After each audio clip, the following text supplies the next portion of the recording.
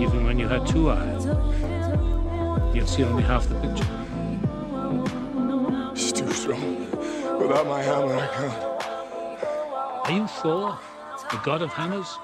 Hmm?